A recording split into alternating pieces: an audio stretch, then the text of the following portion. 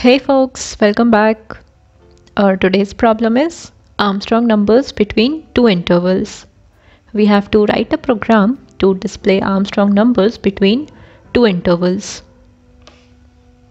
The input format is the first line consists of an integer first interval and the second line consists of an integer second interval. Both the intervals should be in integer form, okay? And the output format is the Armstrong numbers between two intervals with each number on a new line.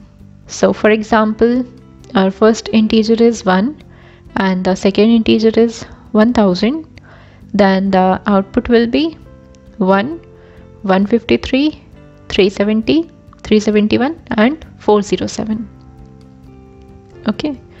So first let's see what Armstrong number is an Armstrong number is a number such that the sum of the cubes of its digits is equal to the number itself. For example, suppose we have any number ABC. If ABC is an Armstrong number, then a cube plus b cube plus c cube should be equal to ABC, the number itself. So let's take a real example. Let's say we have 153 so we'll do 1 cube plus 5 cube plus 3 cube. So 1 cube is 1 plus 5 cube is 125 plus 3 cube is 27. Adding these we'll get 153.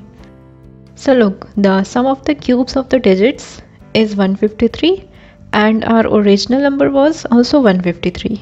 So when these two are same then we say our number is an Armstrong number okay.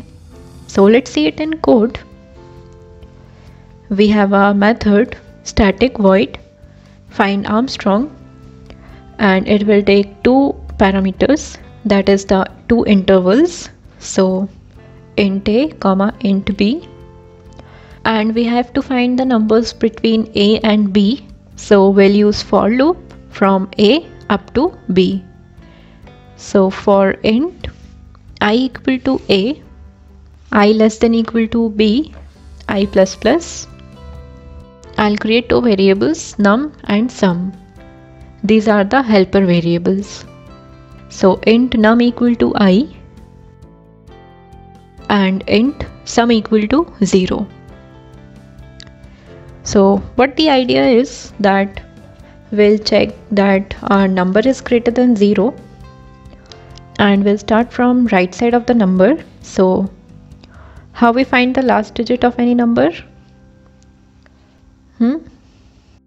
by dividing it by 10 and getting the remainder so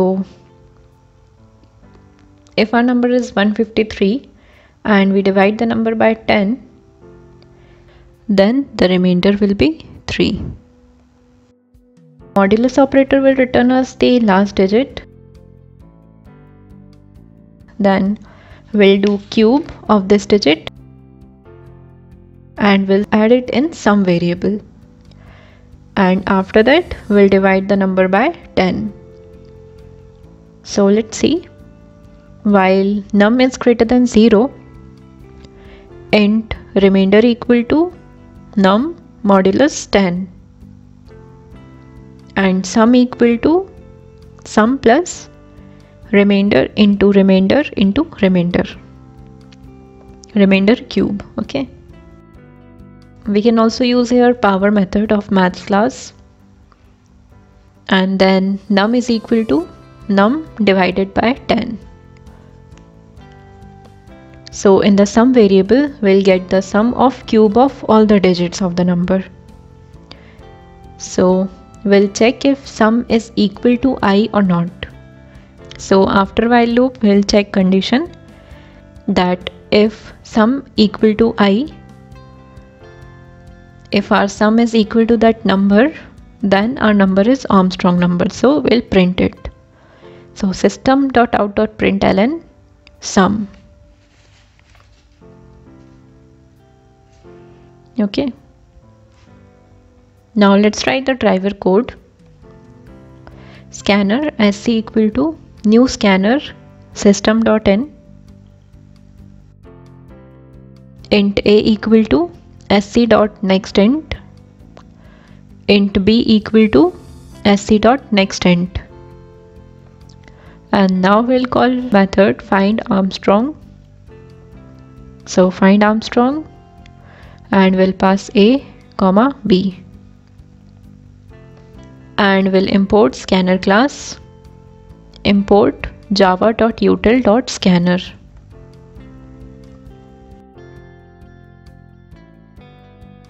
Now let's see if the code is working fine or not. Let's compile the code. Java C Armstrong number.java. Okay, so file is compiled successfully. Now let's run Java Armstrong number. Okay, so first we'll pass here 1 and the second interval 1000 okay we are getting 1 153 370 371 and 407 so we are getting the correct output. Okay so we are getting the desired output.